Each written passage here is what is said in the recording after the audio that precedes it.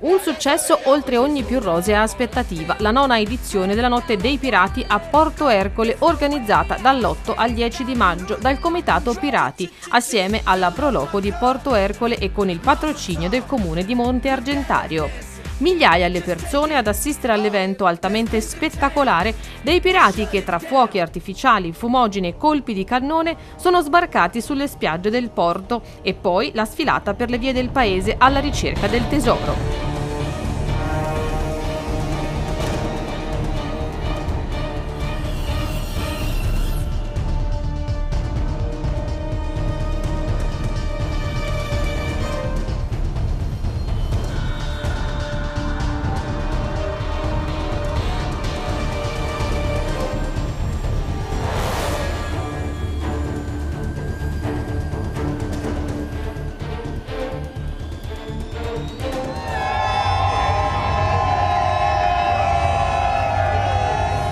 Vincitori di questa edizione sono stati i Cricchi Neri, seguiti nell'ordine dai Pirati di Sgalera, la Baia del Rock, Armada Burlesque, tutti in Cambusa e i Pirati di Montecristo.